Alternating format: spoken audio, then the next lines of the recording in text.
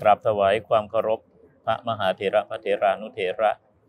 ครูบาอาจารย์เพื่อนสหธรรมิกทุกรูปด้วยความเคารพอย่างสูงยิ่งครับผมนวยพรและเจริญพรญาติโยมสาธุชนทุกท่าน วันนี้ตรงกับวันที่ 29 เมษายน พุทธศักราช 2566 ที่วัดพระรามเก้าการจนาพิเศษ ได้มี พิธี อบรมสามเณรภาคฤดูร้อน เป็นวันสุดท้าย ซึ่งวันพรุ่งนี้ก็จะได้มีพิธีลาสิกขาบท จากการที่ทางวัดพระรามเก้าซึ่งมี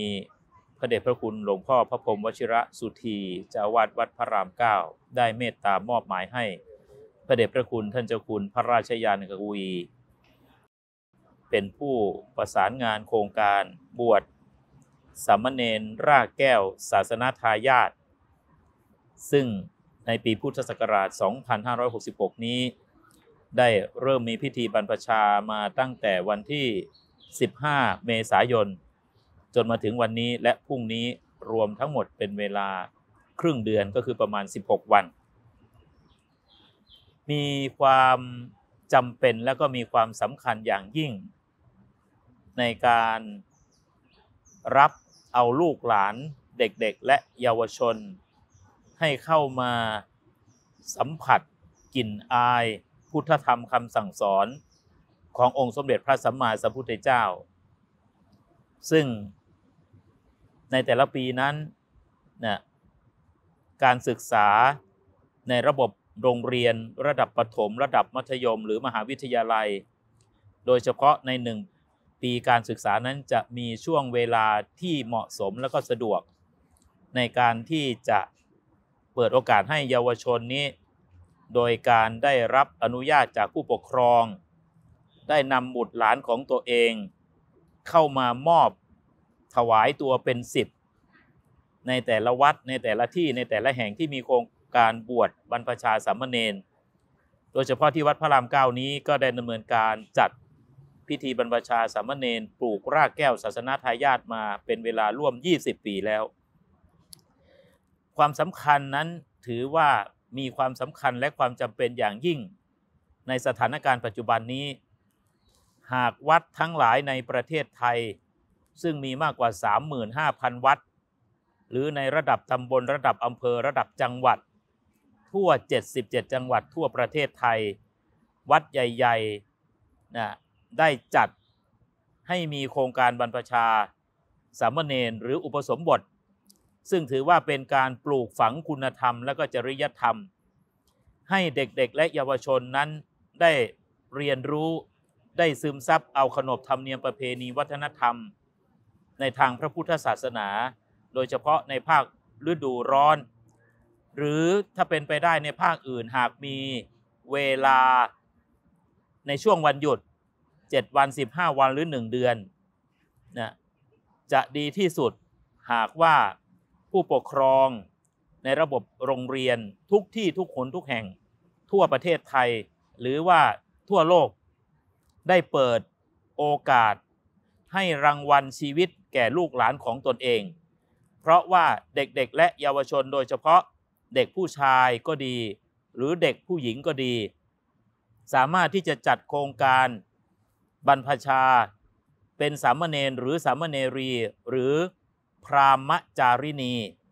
ซึ่งถือว่าเป็นการต่อยอดเป็นการฝึกให้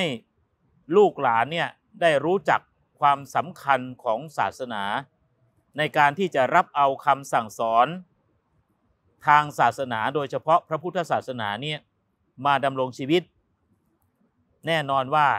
7 วัน 15 วันหรือ 1 เดือน ในขณะที่ได้มีโอกาสเข้ามาอยู่ที่วัด ย่อมมีโอกาสได้ศึกษาธรรมและปฏิบัติธรรม ได้ไหว้พระ ได้สวดมนต์ ได้เจริญสมาธิภาวนา ได้ทำกิจกรรมกลุ่มร่วมกัน เรียกว่าเกิดความสามัคคีขึ้นมา เกิดความรักความหวงแหน ในพระพุทธศาสนา เป็นการศึกษาเรียนรู้ประวัติ ความเป็นมาของพระสัมมาสัมพุทธเจ้า ประวัติของพระสาวกของพระพุทธเจ้า ประวัติศาสตร์ทางพระพุทธศาสนา ตลอดจนการนำลูกเนน ไปทัศนศึกษาในสถานที่สำคัญต่างๆ ทั้งในกรุงเทพมหานครและต่างจังหวัด ถ้าหากว่าวัดต่างๆ ทั่วประเทศไทย ซึ่งก็มีหลายวัด ได้จัดโครงการบรรพชาสามเณรเหมือนกับวัดพระรามเก้ากาญจนาพิเศษ นี้เชื่อแน่ว่าในอนาคต ประเทศชาติของเราจะมีแต่คนที่เต็มเปี่ยมไปด้วยคุณภาพ จึงขออนุโมทนาบุญ แล้วก็ขอให้กำลังใจทุกโรงเรียนทั่วประเทศ เด็กๆและเยาวชนถือว่าเป็นกำลังสำคัญของชาติ ศาสนาและสถาบันพระมหากษัตริย์ ประเทศไทยของเราเจริญรุ่งเรืองมาตั้งแต่อดีต ก็ด้วยบรรพบุรุษ สถาบันพระมหากษัตริย์ ที่ท่านสละเลือดเนื้อ รักษาผืนแผ่นดิน อันทรงคุณค่านี้ไว้ ดังนั้นลูกหลานทั้งลูกหญิงลูกชาย จึงจำเป็นอย่างยิ่ง ที่จะต้องให้ความสำคัญให้ความรักประเทศไทย ให้ความรักชาติ ให้ความรัก แก่พระศาสนาในขณะเดียวกันทำอย่างไรเราจะอยู่ร่วมกัน บนผืนแผ่นดินนี้ อย่างมีความสุขเนี่ยมีแต่ความรักความอบอุ่น มีความช่วยเหลือเอื้อเฟื้อเผื่อแผ่แบ่งปัน ดังนั้นการบวชคือการฝึกหัดปฏิบัติตนเองให้อยู่ร่วมกับผู้อื่นได้ในสังคม พระพุทธศาสนา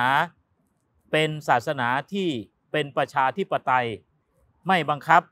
ให้ใครมานับถือ มีวัตถุประสงค์ ยินดีต้อนรับบุคคลผู้มีความเชื่อความศรัทธาความเลื่อมใสในคำสอนของพระพุทธองค์ โดยเฉพาะคนที่มีบุญบารมีและคนที่มีสติปัญญา ดังนั้น สถาบันวัดพระรามเก้าการจนาพิเศษ